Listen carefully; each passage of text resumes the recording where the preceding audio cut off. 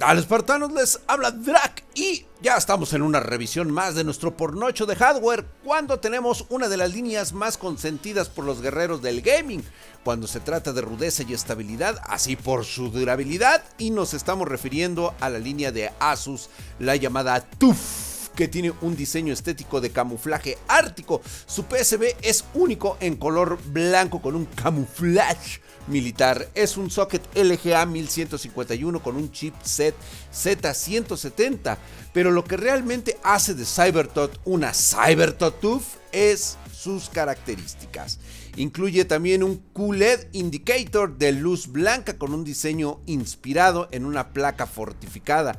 Controla su poder y reacciona a las alertas con un claro indicador de 5 pasos vitales que el procesador que da desde el bot hasta el encendido final. Todo ello siendo indicados por el llamativo de estas lucecitas LED que son en color blanco. El complemento perfecto para la placa de de esta PC virginal.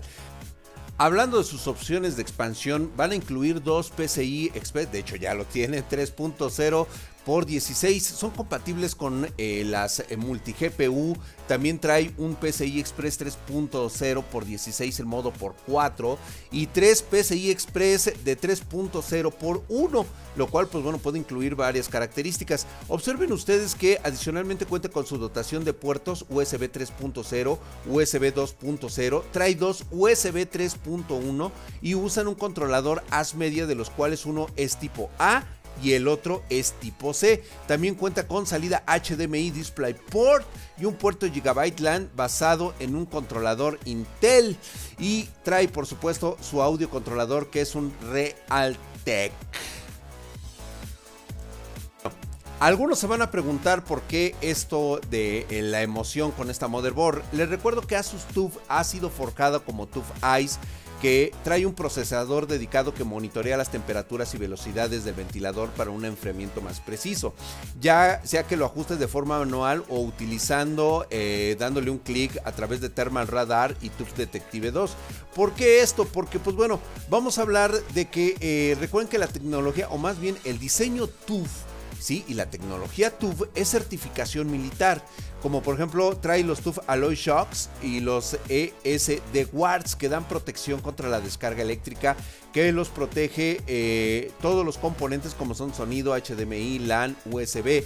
Y esto es porque la tecnología TUF está diseñada no tanto para que puedas hacer un overclock supremo, sino que está hecha para tener una estabilidad a la chinga que le vas a meter tú a esta placa junto con el procesador y la tarjeta. Lo que requiere no es poder, requiere estabilidad y durabilidad. No por nada eh, la línea TUF tiene y le ha dado 5 años de garantía. La verdad es que esto es súper guapo que lo tenga. Oye, esa bueno, llegamos a la interfaz más elegante, fácil e intuitiva y ha sido renovada con funciones que todavía la hacen más atractiva, tanto para novatos como para overclockers experimentados, el modo EZ, el modo avanzado. Eh, esto te permite realizar los ajustes fácil y de forma muy rápida. La verdad es de que eh, próximamente haremos este tipo de, tutoriales para que ustedes sepan cómo pueden actualizar su BIOS, ya sea de forma eh, pues a través de internet y a través de una USB.